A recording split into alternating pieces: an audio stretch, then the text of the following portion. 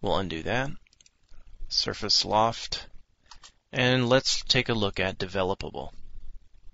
We'll press OK.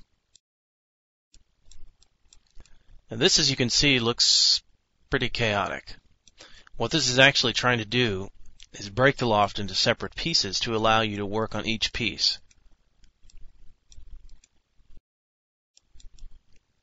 In other words, if I use my explode tool here, as you can see, there are hundreds of surfaces here, literally. The developable loft idea will work much better with a smoother sort of lofted shape. So let's undo that.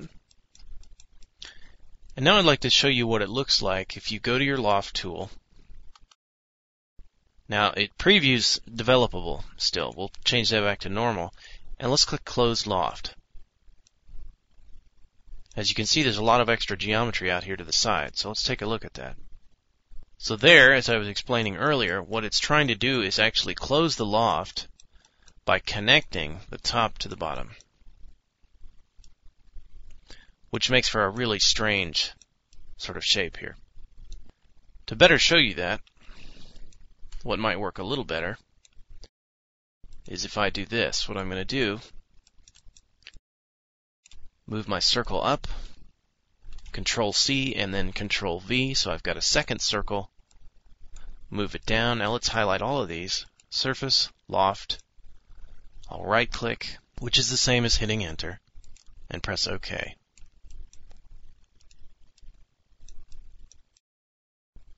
Now as you can see, this is a little bit different looking. Much more simple shape. Let's go to Surface, Loft, Enter, Close Loft. Now here, as you can see, it's done the same thing. It's connected one end to the other, but it looks a whole lot smoother because of the difference in my curves and the shape that it's created between them. Now, what if we wanted to change the point count? Well, loft, right click, let's try rebuild. Let's try 5. See what that looks like. Much simpler, as you can see. It's just a basic tube. As compared to this, which was obviously a lot more complex. So once again, surface, loft, rebuild. Let's try 40 points. Now let's have a look. There, as you can see, it looks almost like paper, much more detailed. So again, what the loft tool is basically going to do is create a skin between your curves, and then you decide exactly how it's going to do that.